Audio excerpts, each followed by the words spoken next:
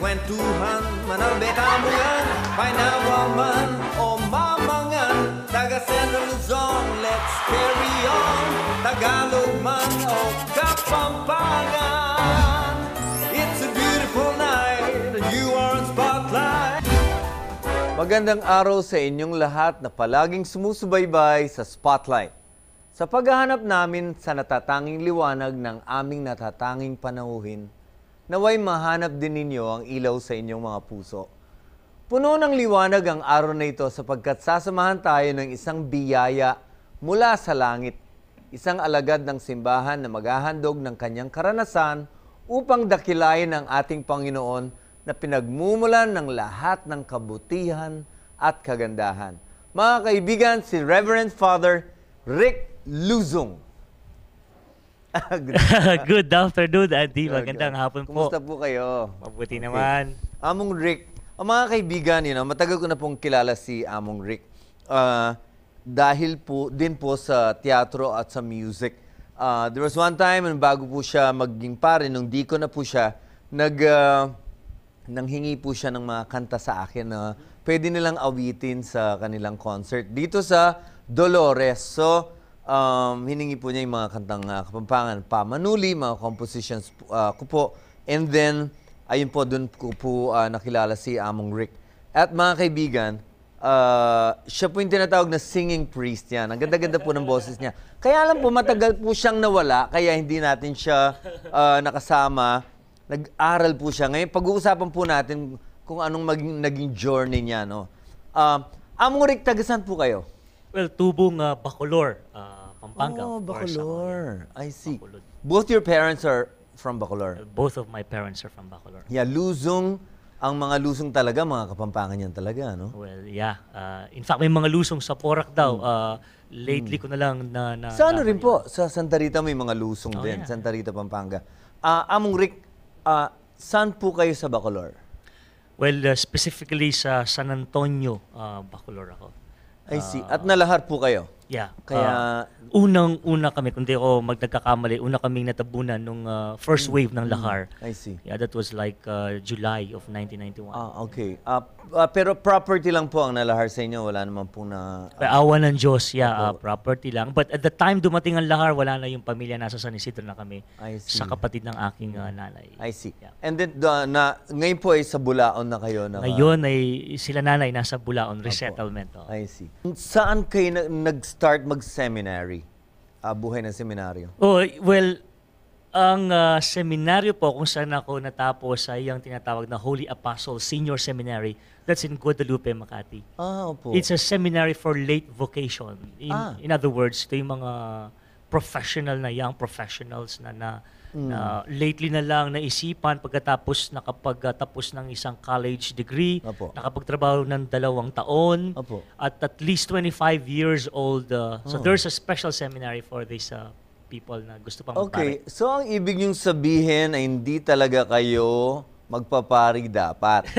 so nag professional na kayo, Yeah. saka nyo naisipang pumasok sa seminaryo. Well, let's put it this way. No? Siguro, uh, nandun na yung tawag siguro na po. Pero dahil sa circumstances, like for example, Ah. dahil naglahar, no? Oo. After uh, high school ako noon, Andy, no? Opo, graduating ako sa high school.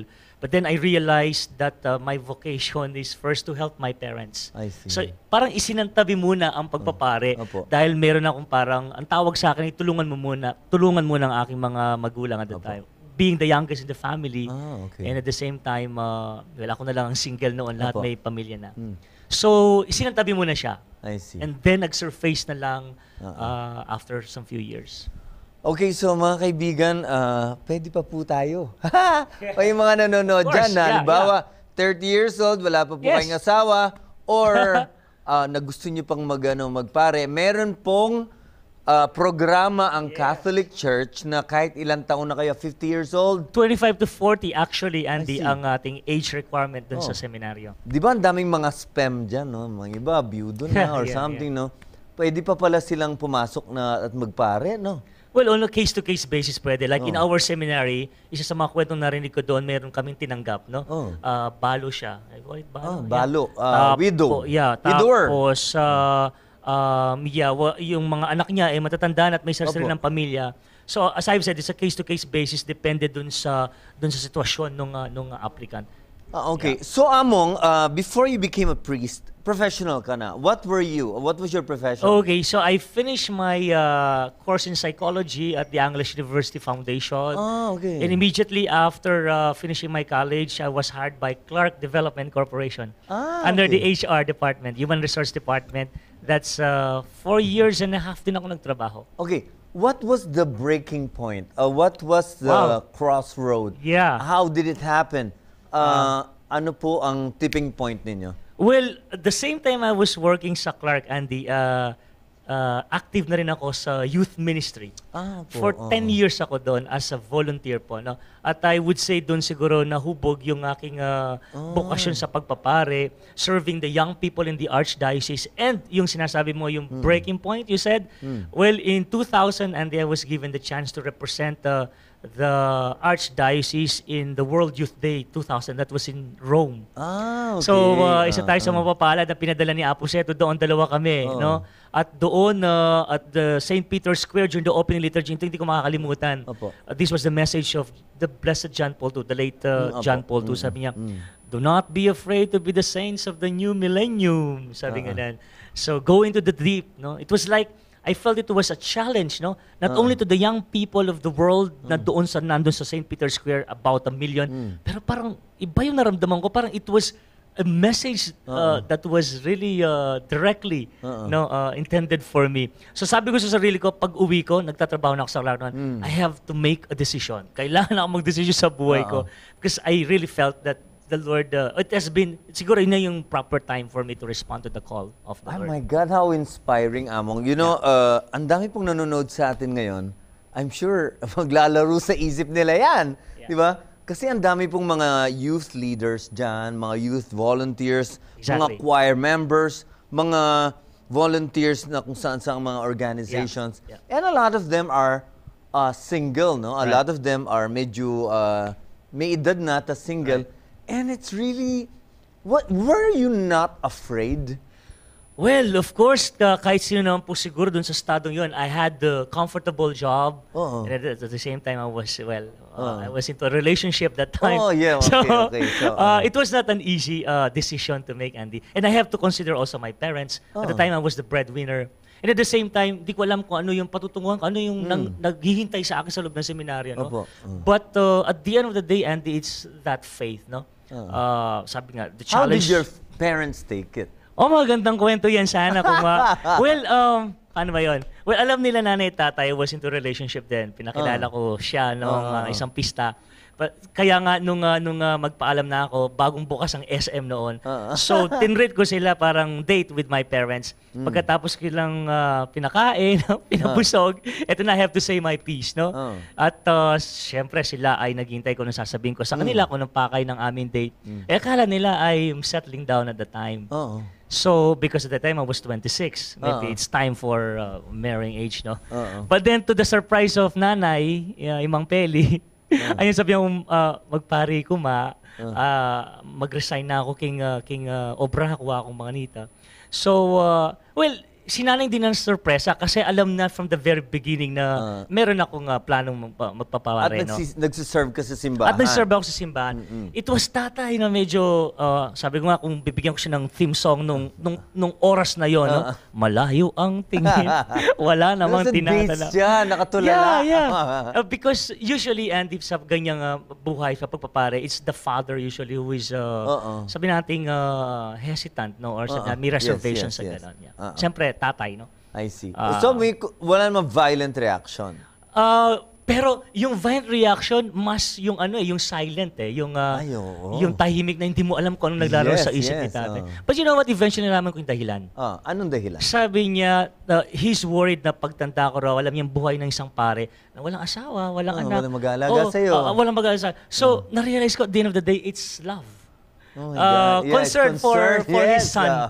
So uh, natuwa din ako doon. Pero ilang ilang buwan at ilang uh, uh, uh, moments din hindi pumunta sa seminaryo noon si tatay. Really? Yeah. Oh my God. Pag may open house sa seminaryo, sila nanay at mga kapatid lang pumunta pero si tatay never. Really? Oh, Oh my ilang God. months yun. Really? eventually, when I've learned the reasons why, Mm. sabi ko, it was love after all. Yeah, of a father to his son. Oo. Naintindihan ko. Oo.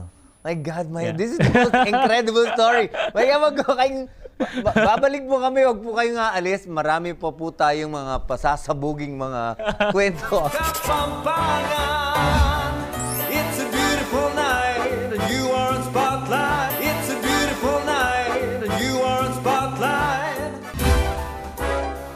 Nagbabalik po ang spotlight. Kasama po natin si Rick Lusong, mga kaibigan. Na marami po siyang mga ah, kinukwento sa atin na napaka-interesting. Anyway, Among, ano naman ang reaction ng girlfriend mo? nung, ah, Yan ba yung next pa pag-uusapan? Diyos ko po. Oh, ito ba, ito to ito na, ito na. Okay, ano ang reaction ng girlfriend mo? Ah, wag mo na yan. Okay. Yung mga kaibigan mo muna. Well, siyempre, yung mga kaibigan, no, ah, may mga samot-saring mga reactions. No? Oh. It was a mixed uh, kind of reactions. May mga supportive, lalo na Oh. yung mga kasama ko sa youth ministry. Dahil gustong-gusto nila ako din akong pumasok ng seminary no? para daw makapag-serve pa ng maraming Mm, mga yeah, kabataan. No? Iba pagka, siyempre, pari ka, you, you'll be able to serve more young Yeah, people in the church. Pero may mga kaibigan na ah, hindi naintindihan yung decision ko noon ka. dinidiscourage ako and uh, medyo may mga salita pa na medyo nakakasakit na ng loob na parang they judge me as like uh, yeah, uh, parang uh, yung decision daw na parang hindi pinag-isipan. Ano daw ginagawa ko sa buhay ko? Kaganda daw ng trabaho ko noon at the time and uh, yeah, I was in the, at the peak of my career at the Oo. time. Uh, uh, modesty aside sa Clark, no? And then eventually, uh, bigla ako naisip na magpare, no? Kaya, yun. May mga taong nakakaintindi at supportive. May mga tao din na hindi nakaintindi Okay. sa decision ko. So let's go now to uh, the, the million dollar question. How did you tell your girlfriend about it? Well, it was not an easy decision also and uh, conversation. Oo. Um, Nauna ba? Ngayon na ba? Ah, okay. ngayon na, Uh, yes, hindi yes. ko makalimutan yun, Andy. No? Uh, of course, uh, I have to set an appointment with her and uh, of course, choose the right words to say. No, Hmm. Po. And uh, dito, somewhere sa intersection yun. May no? inkling ba siya? Um, well, she's also an active uh, member of the youth ministry. Ah, okay, she okay. sings also in the Yeah, choir. yes, so, yes, yes. uh, meron siyang inkling nung una. In fact, bago niya ako sinagot noon, eh, kinlarify muna niya kung talagang magpapari ako. Oo. Well, sinabi ko naman sa kanya na may balak ako, no?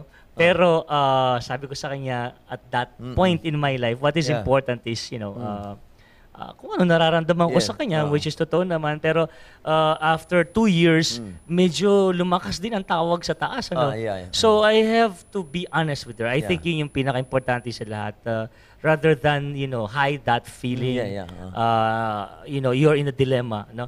Kaya kailangan ng uh, sabihan siya. And at the time, uh, hindi rin naging madali sa kanya ang tanggapin Ah. yon. Pero hindi ko makalimutan yung sinabi. Uh, yes. Pero hindi ko makalimutan sinabi. Sabi niya, ang hirap naman nito, no? Ah, dahil ah, ang kalaban eh, syempre, oh, yeah, yeah. yung sa taas, ah. no? Sino ba naman ako para ah, pigilan? Yes, yes. Pigilan ka. But uh, the end of the day, Andy, uh, uh, ang importante yung, uh, siguro yung ilang taon na pagsasama namin Oo. was uh, worth it at saka at nakatulong sa isa't isa. At sa akin din, Mm. sa aking pagdinilay, sa aking uh, bokasyon, sa pag-purify ng aking uh, bokasyon sa pagpapare. So sa may Guadalupe, pumasok na kayo sa seminary. And how was your first uh, year i- at the seminary? Were, was there a big adjustment? Yeah, the first year was uh, or is always uh, uh, uh, a testing uh, Oh, uh, difficult year, yan, yes, difficult yeah. times. Oo. No? Kasi doon ka mag adjust no? from uh, the professional world. Pagdating mo doon, you find yourself na na um, tawag dito na you're under formation. No? po. Oh, Uh, kasi- estudyante ulit. Oh, biro mo, uh, ang titigas na ng mga buto nyo eh. for- form. Parang ano yan eh, parang feeling ko, binabonsai kayo, pero ang titigas na ng mga uh, branches exactly. nyo. You know what's unique in Holy Apostles Senior Seminary Hmm. formation is that um, unlike yung regular seminar, formation ka agad. They will Opo. form you to the kind of priest you, you, you will Yes. become. Opo. Doon, may deformation muna.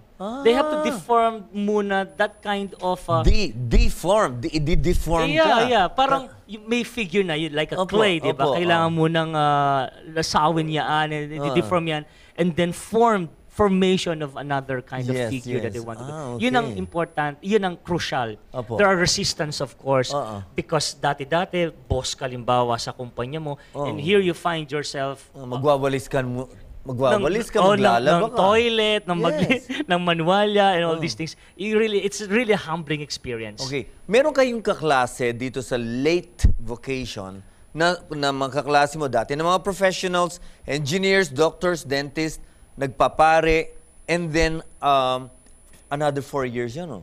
Another five years. Five years. Yeah. May umalis.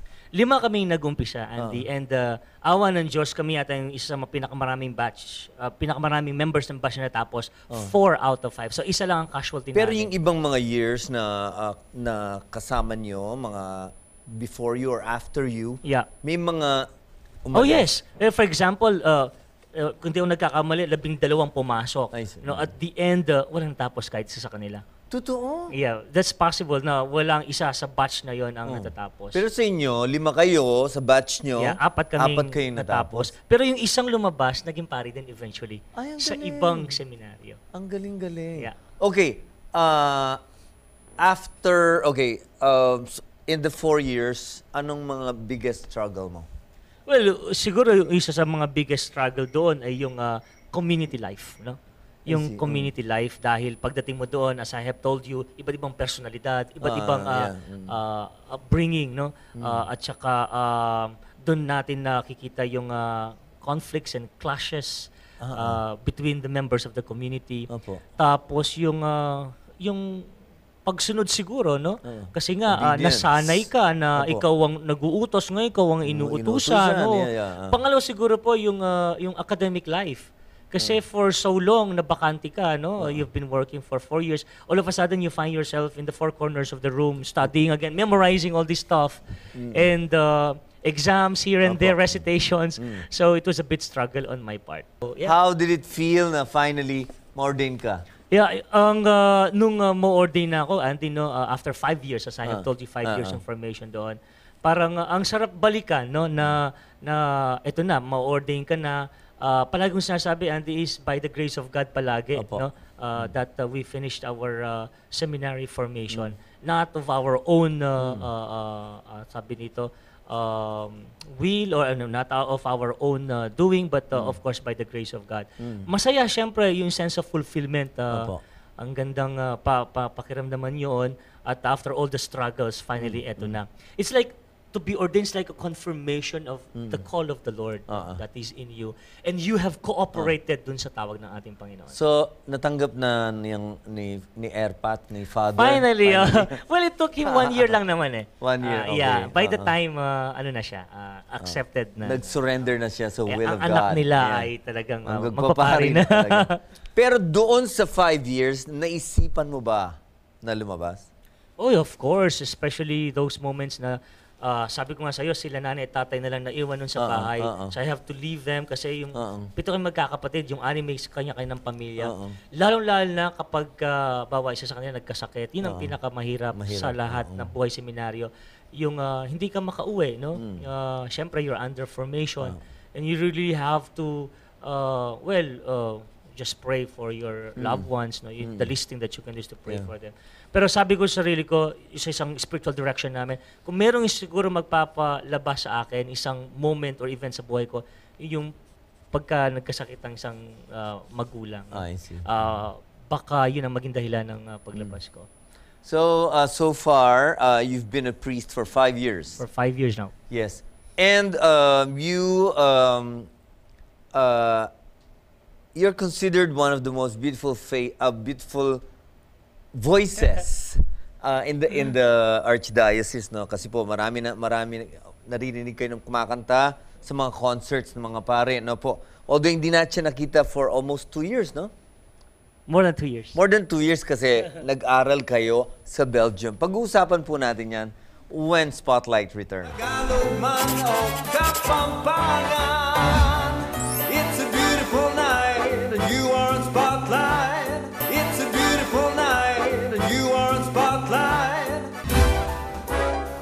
Babalik po ang Spotlight with Father Rick Lusong. Ayan po, in-emphasize ko po na pari po si Among.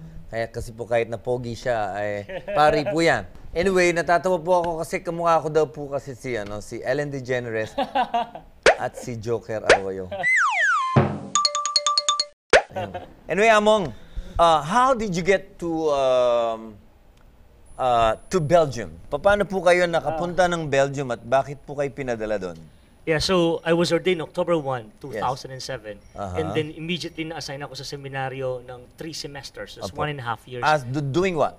as a spiritual director of the college department, on a philosophy department. Okay, and then you were sent to And Belgium. then uh, here comes the scholarship. Uh, sumulat ang, ang ang Catholic University of Louvain. Oh, uh, sa inyo, uh, dito? uh, sa atin, dito sa diocese. Kung di ako nagkakamali kay uh, Apo Seto yata or kay Bishop Opo, Ambo. opo. And it was endorsed to Father Vicnic that was director of the seminary. Mm. Hindi ko nagkakamali, so they have to choose. Then they have to uh, talk about it kung sino yung ipapadala. Opo. Anong nature ng scholarship po? Well, it's a scholarship uh, uh, uh, coming, uh, funded by by the school itself. So it's uh, uh, matching allowance ang tawag ng scholarship. That means uh, Ang galing naman. they give 50% of the of the I see. uh, Okay. ano money. po pinag-aralan ninyo doon? Well, ang uh, ang uh, field of theology na pinag-aralan natin doon is uh, theological ethics Theological or ethics. commonly known as moral theology. Moral- So that's okay, one branch uh, of of theology. So may two years po din. Uh, Hindi two po kayo years. umuwi for more, Well, more than umuwi ako nung nag-golden wedding si nanay at tatay. I see. It was their 50 year uh, years uh, wedding anniversary. Ilang ilang araw po Hindi ko kayo pinalampas yun. Ah, ano lang yun? ah, halos isang linggo lang o dalawang linggo. Holy Week yun, hindi ko makalimutan. Ah, tapos bumalik po kayo. Tapos agad. bumulag din ako to continue my studies. At the time, I was already uh, finishing my thesis. I see. Yeah, So, um, how was it uh, studying in Belgium? Wow, yeah, hindi mahirap of course ang ah, mapalayo, no? Opo. Una sa pamilya, pangalawa sa ministry mo Opo, na, opo. na na naum- naumpisa mo pa lang na sabihin nating ah, nagugustuhan at uh, nag-enjoy. But uh, I took it as a challenge, no? Opo. Not for myself and uh, but uh, for the diocese at saka sa sabihin natin sa ministry natin. Opo. Ang ang palaging sinasabi noon is uh, uh, kung saan ako mas makakatulong at kung iniisip ng aking mga superiors, namely my bishops, if uh, they think the, uh, that I will uh, uh, contribute more Opo. for the diocese and for the seminary. So I was challenged to uh, to uh, grab the opportunity to study abroad. I see. Okay, Among, um, a lot of people know that you sing, no? Um, yes, so, um, how big, dati, all your life, kumakanta ka, no po? At saka, big part of your life is singing, no? So, ngayon, naging pari kayo, so, gaano na karami yung uh, percentage ng singing ninyo? Well, um, palaging sinasabi ng mga tao, bakit kayo mga pare, eh, halos Oh. kumakanta kayo? Eh, Opo. sabi ko naman eh, sa araw-araw ba naman ginawa ng Diyos na Ah. kung magdasal kami apat na beses ang araw, Ah. so sa apat na beses na yun, di pwede hindi kami magkumanta ng opening song, Opo, and closing opo. song, Opo, Marian opo. song. So, siguro yun, na-develop at uh, nahasa sa pagkakanta at Pero, uh, bago, lakasan ng bago, loob. bago kayo naging pare, kumakanta na kayo, di ba? I remember siguro yung first ano ko po uh, uh, performance you call it uh, elementary nung a cappella pa yun eh. Ah, talaga? Wala pang Okay. minus one noon, graduation yon. Did you join, um, uh, did you join uh, amateur singing contest? Um, hindi amateur. Siguro yung high school lang, yung High uh, school, Glee Club ah. nung high school. Ito yung nakakatuwa eh, nung high school audition para sa Glee Club, hindi ako natanggap. Ay! Totoo! Hindi ako natanggap. kasi- Tinanggap! Eh, well, siguro if there's one Ah. very, uh, I would say embarrassing and forgettable experience. Ah, ah. Na, lakas ng loob ko nung kasi nag, Talaga? solo ako nung elementary, greatest love of all ang sinolo ko. Talaga? Acapella pa Ah, ah. ano, Ah, ah. parang intermission number siya. And then it's the same master, it's the same song piece Ah. I, I, uh, I sang during the Ah, ah. audition. Nag-ano ako, yung somewhere sa mataas na, yung nag-puke ba? Umiyok ka, kaya kayo Kasi I was third year din, di ba? Nag-iba na yung voice. Ano mo. Hindi ako tinanggap. No? Hindi. Nung Eh, high school yun. Eh, audition lang naman yun. Hindi naman ibig sabihin na porke pumiyok ka, hindi ka Yeah, marunong yeah. kumanta, di ba? Kaya nga yun nga iti-train, di ba? Oo. Yeah, dahil uh, may training yun, tsaka may mga Ah. practices. But anyway, again, I also took it as a challenge. Hindi Ah. hindi na uh, natapos doon yung parang passion ko in singing siguro. Okay. Yeah. So, now, uh, I actually met you as a singer, not as a priest, di ba, Among? Ah, so, yeah. uh, ngayon po, um, you you are coming up with a project for Apong Mamakalulu, if, which kayo po ang uh, curator? uh, like a rector. Rector. doon. Rector of the Shrine Yeah. of Apong Mama Kalulu in Hang Angeles City. Angeles City. Pampago mo na eh. Angeles. Ada. Oh, ngani po, uh, uh, so, ating ko pong project. Uh, let's talk about it. Yeah, uh, the uh, project is actually a, uh dinner concert for a cause. Apo. And this is actually a part two of uh, the fundraising uh, campaign for uh, Apo. Lugod Kang Apo Part 2. Yes. That's the title of the dinner concert for a cause. And uh, this will be at the Grand Palazzo Royal on June 12, Yes. 6 p.m. Uh, yeah, dinner for cause. uh, Kasama dinner po, sino po mga guest ninyo dito? May mga guest tayo dito ng mga kapatid at kaibigang pare, no? Namely, si Father Ted Valencia. Of Uh-huh. course, kilala-kilala yan, no? Okay, Sa okay. suki ng Sinyong at ng RT Santa Rita din yan. Uh-huh. Si uh, Father uh, Aris Maniago, Father Melo Agustin, Father uh, Jonathan Bartolome, Uh-huh. and of course, uh, siyempre hindi pwedeng mawala dito uh, si Bishop uh, Ambo David, Uh-huh, who yes. will uh, have a special participation during the Yes, concert. yes. And hindi pwedeng mawala din RT Santa Rita and of course the Ima and the RT, Okay. Teatro Ima. So, alin po mga kaibigan, this is going to be uh, a very unique concert. Kasi po hindi lang siya concert. Para siyang, okay, uh, pag-explain mo, uh, Among, kung ano po ang concept ng ating uh, concert. Well, of course, with the information, uh, for the information of everybody, tinulungan po tayo ni Andy po dito sa concept natin. So, hindi lang siya purely kantahan, no po, pero meron din siyang uh, aspeto ng uh, catechism or evangelization. no? Uh, well, uh, it will start, for example, we'll choose some biblical readings, no? Yes. Bible verses, na kung saan ito ay re-relate natin sa mga contemporary songs. We Po. give the lyrics of this contemporary song somehow a spiritual uh, Yeah, dimension uh, no po. Uh, and then afterwards there is like a short reflection after Opo, each song. So dito makita natin itong mga contemporary songs eh, ah, pwede rin pala silang uh, pwedeng uh, Uh-uh. gawin silang uh, like uh, uh, instruments for uh, Uh. evangelization. Yes, yes. So, uh, makita niyo kung paano magiging spiritual song ang I want nobody, nobody but you. Ayan. Paano naging yung spirit, ano, spiritual song yung I want nobody, nobody but you? But can you imagine if God is the one saying I want nobody but Exactly. Yeah. Diba? Pero pa isang kanta, Andy, I Ah. think uh, very ano din to, uh, importante din uh, inat. Yung sana'y wala ng wakas, di ba? Oo. The, the last part uh, uh, is, uh, I would say, very, uh, may Christian uh, uh, dimension siya. Oo. Ano? Yung kahit na ilang tinik ay kaya kong tapakan, kahit na ilang awit ay aking aawitin. Hanggang yan ang paraan upang, upang landas mo'y masundan. Yan. Ah, ah, kahit ah, ilang ah, Ulit. dagat ay aking tatanggirin. Yes, yes. Higit pa riyan ang aking gagawin. Di lamang pag-ibig ko, ang buhay ko, ibibigay sa ngalan ng pag-ibig mo. Tapos higit pa riyan, yan, aking mahal, ang alay ko. It's like God, you know, uh, Yes. talking or uh, Yes. telling it to ourselves. that, uh, yes, yes. Which He did Yeah. uh, on the cross when He gave Himself body and blood for our Yes. salvation. Ayun. Yan po Ganda, mga ano? kaibigan. Kaya dapat manood po kayo. Kasi, yeah. uh, God, can you imagine? We will give these pop songs a totally new meaning and a totally new dimension with matching reflections from Bishop Ambo and other priests na magiging guest po natin. It will be, ako I would probably call it an evangelical concert, no? Why not? No? Yeah.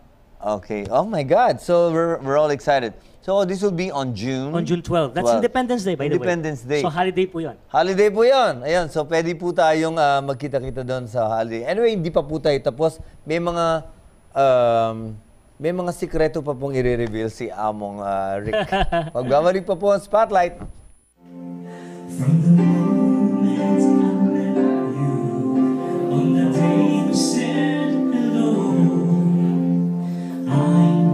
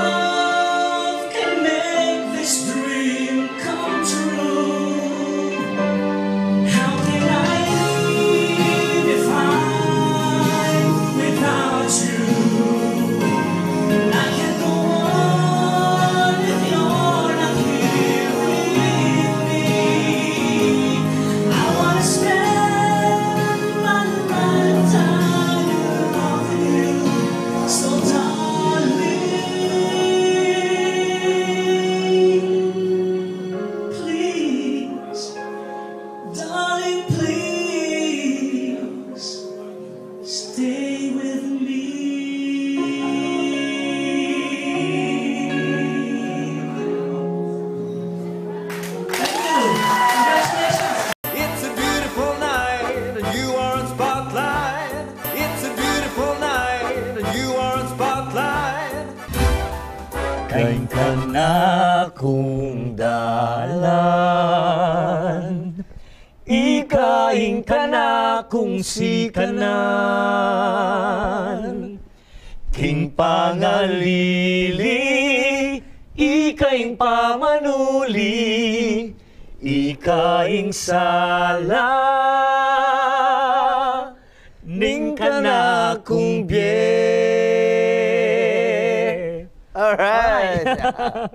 Mga kaibigan, ah, nagbabalik po Spotlight with Father Rick Lusong, ah, singer par excellence of the Archdiocese. Anyway, Among, gaano ka-importante ang arts, music, theater sa ginagawa po ninyo sa simbahan? Well, uh, as you all know, yung music has always been part of the uh, liturgical worship sa simbahan. No? Kaya lang nag-evolve It na. Ika, yung ginagawa nyo kasi, kadalasan mo, you do a lot of pop music and uh, you know, Broadway music. Yeah. Eh, well, kailangan din yun kasi, uh, well, ang music ay isang medium din siguro Apo, to evangelize people, no? Um, well, of course, binigyan tayo ng iba't ibang uh, uh, talento ng ating Panginoon Apo, at ah. ng gifts, ika nga, no? Uh, para gamitin ito uh, for the uh, proclamation of the word. And I think music is one of the best medium to uh, proclaim the word of God. And especially, alam natin pag nagsisimba tayo, pag maganda uh, yung yung yung yung yung uh, pagkanta, no? At yung music ika nga, it adds uh, to the solemnity of the celebration. It gives you that feeling of uh, like heaven ika nga, no? Experience of uh, of that divine no? Ah, through music. sinasabi po nila pag daw ah, ikinanta mo ang isang dasal, parang mas ah, Yeah, he- malambing daw sa, ma- sa, sa tenga ng ating Diyos. Yeah, and I think it was Saint Augustine who said that Uh-uh. uh, he who uh, uh, oh, who uh, uh, sings, no, Yes. prays uh, twice, no, parang dalawang beses kang nagdarasal pag ikinanta mo ang iyong dasal. Among, uh, after five years of being a priest, um, how strong are you? How strong am I in terms of what? In terms of your, uh, you know, resisting temptation, how, in terms of, of going in the right direction, uh, you know, My principle in life, Andy, is always without God, I am nothing. Uh-uh. Um, well, uh, as I've as I've told you, it's Mm. by the grace of that that I became a priest. So yun pa rin ang aking prinsipyo. Yeah. I uh, I uh, I'm I am still a priest. Uh. And uh, yeah, still a priest no Uh-uh. dahil na rin sa grasya ng Diyos. Okay. And that's where uh, prayer life is very important. That uh, makes you really uh, strong enough no to uh, to fight yung mga temptations which are still of course Opo. are still there no be, be part of uh, uh, priesthood. Ano po ang pangarap ninyo, pangarap ninyo at ni Bishop Ambo para sa Apu Mamakalulu Shrine? Well, um, napaka-vocal ni Bishop Ambo sa kanyang vision, which I also share uh, with the same vision. Sa Kapampangan ah, ang palagi niyang sinasabi, sentro ng pakalulu para ka rin pakakalulu. No? Ang ibig lang sabihin po noon ay ah, ang Apo Shrine ay hindi lamang siya sentro ah, of ah, those who are asking for mercy, but hopefully it will also be a center of those whom we can bestow mercy for others. It's a two-way no po. Ah, mumuntala ka rin din tawong uh, pakakalulu. Pero maging yan naman po sanang ah, lugar nuno uh, in pakalulu bibiyeya ka rin pakakalulu. So we are planning to tap for example Andy uh, NGOs for example and uh, yeah uh, uh, networks. Baka nito uh, ma-realize yung plano ngayon eh. like uh, counseling service for example livelihood programs for the poor and then of course you have uh, also medical services no? Um, are we okay with the number of priests in Pampanga or we could do more? well uh, so far uh, masasabi ko uh, enough na no Uh, Enough, enough na yeah Uh, pero but, uh, pero among, I heard uh, yung ibang like uh, even other countries, they Yes. invite priests from Pampanga, no? Ah yeah I think uh, meron tayong ngayong uh, Parang uh, nag-export tayo ng mga priests Yeah, or parang something. they go on a mission, no? Yeah po. Uh, they are loaned uh, uh, by other uh, uh, dioceses or countries, Mm. no? Uh, but then eventually they will come back, no? Opo. Pero sa atin uh, ang ikinatutuwa natin at uh, nagagalak tayo at uh, syempre pinapasalamatan sa Diyos as far as Pampanga is concerned, di pa naman tayo nawawalan ng bukasyon. As I Mm. Ayun have po. observed uh, as a formator in the seminary, marami pa naman po ang uh, pumapasok. At saka uh, ngayon, Among, ah, balitaan ko po ay puno po ang seminaryo ngayon, no? Yep. In terms of uh, uh, the seminarians. And uh, kayo po, you, you could be a really good example or be the poster boy of uh, late vocation, no? Maybe you could promote late vocation, no? No, actually, during my first year, the Oh. seminary, we came up with a poster. Oh. Uh, yeah, ako yung finisher doon. Oh, kasi late vocation uh, kayo po. So, ibig, uh, sa mga nagkakalipat lang po ng channel, ang late vocation po ay yung mga professionals na o um, mga 20 years old na kayo o Yeah. 30 years old o hanggang 40 years Exactly. old gusto nyo pang itry Yeah. kung may um, puso po kayo para sa pagpapare. It's never too late Never to too become late. a priest. Oh, yeah. opo. And uh, yun nga, Andy, actually yun ang trend ngayon. No? Oh. Mas prefer ng mga seminaries na tumanggap ng mga late vocation Opo. uh, uh, na, na candidates. Kasi more or less, uh, well, presumably, uh, mature na yung decision niya. No? Opo. Uh, he had undergone, for example, uh, uh, life outside, working, earning your own money, spending your own money. Then eventually you realize there's more to life. You know? And, uh, and that is uh, priesthood or yung vocation sa pagpapare. Among being with uh, the Archdiocese of Pampanga, ano pong pangarap ninyo para sa Archdiocese? Well, so far we've uh, we are doing good no as far Opo. as how we uh, we reach uh, to the people no Opo. in terms of the proclamation evangelization. Yung amano nga is a Opo. breakthrough in the archdiocese. Pero siguro mas palakasin pa siguro ang uh, ano natin siguro yung uh, well yung uh, marami pa tayong pwedeng itap siguro no Ah, halimbawa ah, mga iba't ibang talento ng mga pare no Opo. ngayon yun ang in ngayon eh no Opo, ah. nakita ko ngayon y- Andy pag kami mga piyesta imbes na mga artista ang ah, ang uh, in, kinukumbida no yeah. tapos binabayaran ng magkano ng Ah, malaking halaga yeah. ngayon mga pari na ano at Opo, ah, ang- nag-enjoy ang ating mga mga mga ah, ah, ah, parishioners no Opo. I think ito yung sabi nating ah, kailangan din nating itap that there's an- another way of ah, evangelizing and Mm. Opo. proclaiming the word through music no Opo. if you have it ika nga why don't we share it to people Yes, yes. Yeah. Anyway, Among, uh, you know, you're a great inspiration to a lot of uh, of the people in Pampanga, and especially the ones who know you, know. And when pag nakarinig niyo pong kumanta si Among, eh, parang napakalapit natin sa Panginoon kasi uh, parang becomes a channel, no? Anyway, uh, Among, in- invite niyo po sila sa ating concert sa June 12. Ayun po, so wag niyo pong kalilimutan, June 12, mark your calendars. Uh, that will be uh, Lugod Kang Apo Part 2 sa Grand Palazzo uh, Royal, uh, alas 6 po ng gabi. And uh, sooner, uh, magbibigyan na po kami ng mga tickets na po. Opo. And uh, uh, the uh, this dinner uh, concert for a cause uh, features uh, uh, selected Kapampangan, uh, clergy po, and of course the uh, Artist Santa Rita and the Teatro Ima uh, will have a special participation in this concert. At kakanta po si Bishop And Ambo. Bishop Ambo, of course, will have a special uh, participation, a special number Ayan sa po. concert. Anyway. Kita-kita po tayo sa Palazzo Royal, June 12 po, alas 6 ng gabi po. Salamat. Anyway, maraming maraming salamat Thank po, po. Among. Salamat. Anyway, uh, mga kaibigan, nasa Amerika po ang Artie Santa Rita. So, ipag uh, pamalita po natin sa ating mga kababayan, kaibigan, kapamilya, uh, mga kaklase na nasa Amerika. Sana po makapanood sila ng um, Artie Santa Rita US Tour, Mikit Tamo po kung nilabas. We will be in LA, San Diego, San Francisco, New York, and Guam for 33 days. Ayan po. Maraming maraming salamat po sa mga sumuporta ah, at tumulong sa Artie Santa Rita's US Tour. Ang Diyos na po ang bahalang umablas kaya kayo. Ito po, sa pangit. Anyway, mga kaibigan, may kanya-kanya po tayong papel na ginagampanan sa buhay.